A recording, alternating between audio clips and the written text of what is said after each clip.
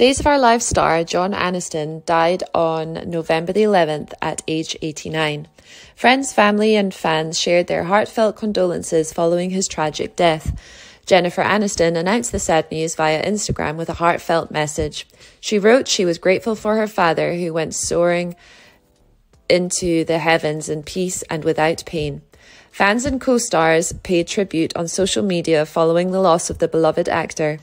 John's co star, James Reynolds, shared a sweet post on Twitter. He posted a throwback photo of the two with other cast members on Twitter.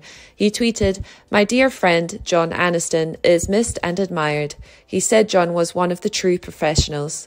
Diane Colville, who played Jeannie Francis in 1987, paid a heartfelt condolence.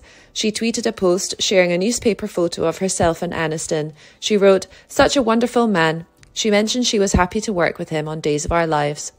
Robert Scott Wilson tweeted a video clip featuring himself and John Aniston. He captioned, Forever grateful and honoured, forever a legend. Family and friends said goodbye to Days of Our Lives late actor John Aniston.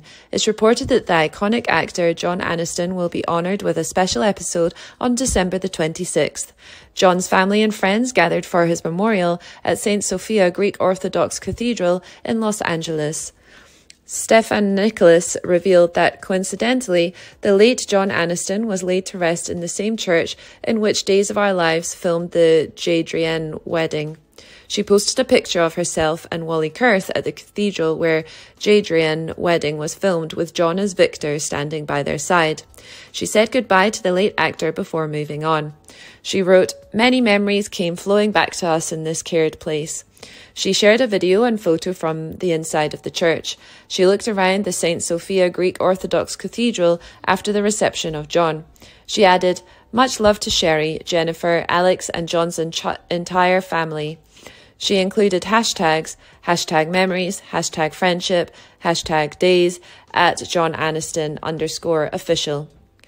Thaao Penghlis said goodbye to the late actor and wrote a sweet post on Instagram.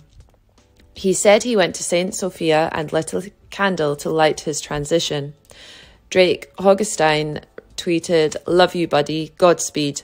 John's family, friends, and fans lit many candles in his honour and said goodbye to him for the last time.